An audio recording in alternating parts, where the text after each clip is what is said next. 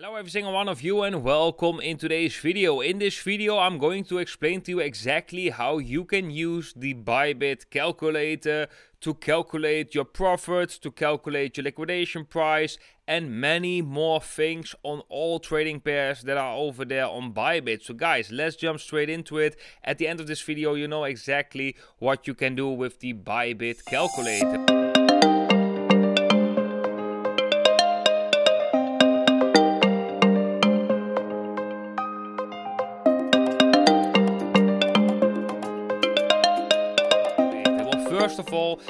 in the top menu right here, you can basically select the pair that you want to calculate things up. That can be the US dollar Tether perpetual, but it also can be the inverse perpetual or the inverse futures. In our case, let's just keep it simple. We are going to do it on the Bitcoin pair BTC USDT. That is the US dollar Tether perpetual.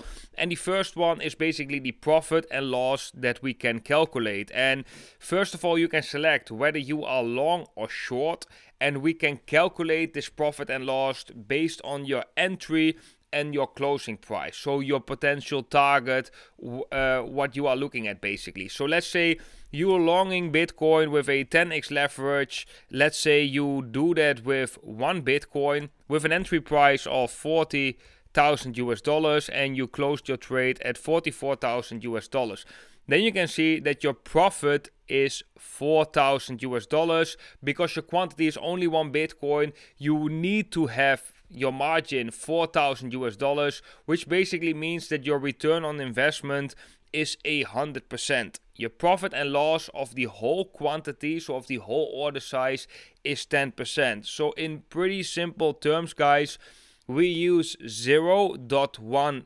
Bitcoin, better said 4,000 US dollars because this is the US dollar Tether perpetual contract. We use a leverage of 10 which create an order size of 40,000 US dollars. That is 10 times our initial margin 4,000 US dollars. Then we have a quantity of one Bitcoin. 40,000 is one Bitcoin at this moment because our entry price is 40,000 US dollars. Our closing price price is 44,000 US dollars, which means that we have a 10% profit on the order, on the order size, on the quantity, but our return on investment is 100% because we only had an initial margin of 4000 US dollar tether. So that is very interesting. We can also do this with shorts. So if you would say, let's say you shorted at 40,000 US dollars, we would we would have lost our complete position, the complete 4000 US dollars. Guys, let's use the same example for the target price to make it more easy, but the target price is basically where you can calculate how much profit and loss you are going to have based on a percentage gain. So let's do the same thing. We have a 10x leverage, uh, we have an order size of one Bitcoin, we entered at 40,000 US dollars. The return on investment is 100% right? Because our target price is then 44,000 US dollars. We've seen that with the profit and loss. But let's say if we want to have a return on investment of 50%, then the target price is 42,000 US dollars. So here you can, based on your return of investment in percentage terms, you can basically calculate your target. So from your entry point, you want to have like, let's say a 25% profit. You can say, okay, then my target price is 41,000 US dollars. And my profit will be 1,000. And my profit and loss of the complete order size will be 2.5%. But for my investment, because I'm using a 10x leverage for my investment, it will be a 25% profit. Then guys, probably this is the most used function of the Bybit calculator, but this is where you can uh, calculate your liquidation price. And of course, you first have to select whether you are trading with isolated margin or whether you are trading with cross margin. The difference between these two is that with isolated margin, you only have the margin in the trade that you put inside that trade. So let's say I have 10,000 US dollar Tether in my Bybit account, but I'm using 1,000 US, US dollar Tether for that trade, then the only margin in that trade is 1,000 US dollar Tether. If I have a cross margin, it will just open that trade, but it will use my whole account balance, the 10,000 that I have in my account, as margin for the trade. And the advantage of cross margin is basically that your liquidation price is way lower because you have more margin. But the disadvantage is is that you can lose more money than the money that you are actually putting into the trade. So I hope that's very clear, guys. Let's dive straight into it. Let's start with isolated margin to give you some examples. So let's say um, similar, we want to do the trade that we have been doing. So we have a leverage of 10x. We do like one Bitcoin uh, and we have an entry price of 40,000 US dollars. Then you can see that our liquidation price is 36,200. What you can already see right here is you put 4,000 US dollars in the trade. We've already calculated that before. But if you do 40,000 minus 4,000, you get 36,000. But this actually says 36,200. Why is it 200 higher? Well, for Bybit to ensure that they get their margin because they are borrowing you money, they put that liquidation price a little bit above your margin. So when it breaks down, it get automatically liquidated and they are pretty sure that they get their money back because you are losing this trade. So what you can always do guys if you want to save money if something hits your liquidation price put a stop loss right above your liquidation price. You will always save a little bit money whenever you get liquidated. But now let's have a look at the cross margin section. So let's say our available balance is 10,000 US dollars, right? And in the trade, we actually have 4,000 US dollars because it is a 10x leverage. But um, now it's actually not using the 4000 US dollars in the trade, it's actually using the margin from your whole account. So you are borrowing based on the funds that you have in your account. Now you can see that your liquidation price is already way lower. It's at 30,238. But do take in mind though, that is very important, if we do come down to meet that liquidation price, you will lose the complete 10,000 in your account. So it really depends on your trading style a little bit. Some people really like isolated margin. You just can lose what you put in your trade. And some like cross margin because you have a little bit more space with that liquidation price.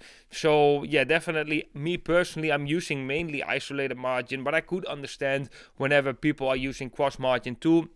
However, they should really be aware of the fact that you can lose a big chunk of, yeah, you can lose your complete account if you are using cross margin. The last function, guys, of the Bybit calculator is actually calculating your average entry price. So let's say you want to long Bitcoin, but you don't want to enter at one specific level. You want to enter at different levels. So let's say we want to long Bitcoin at 43,000 or let's say let's say 40,200 and then we do 0.1 right here and then we want to add at 40,000 we have 0.1 Bitcoin then we want to have 40,100 we want to add 0 0.1 bitcoin.